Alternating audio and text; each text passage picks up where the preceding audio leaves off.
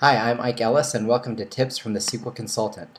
In this tip, I'll show you the right way to run an SSIS package. There are three ways to run an SSIS package. One is this Start Debugging at the top.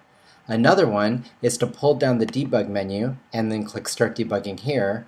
Or the third way is to right click on the package and hit Execute Package. The right way to do it is to right click on the package and hit Execute Package.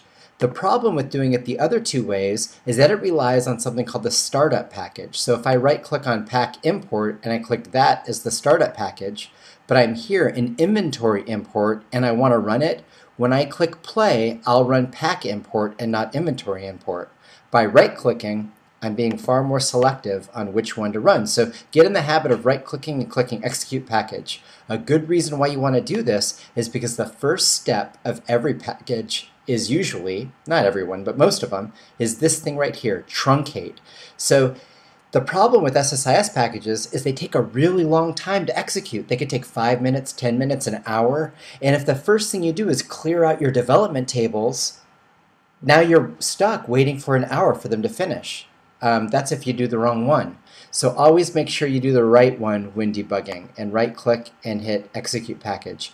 Another good thing to do is to start your packages with a breakpoint. So you just click here, edit breakpoints, and click here on pre-execute so that when you right click and execute package, it breaks on the first step and it'll tell you, oh yeah, it gives you another chance to say, yes, this is what I want to do, or to just click stop.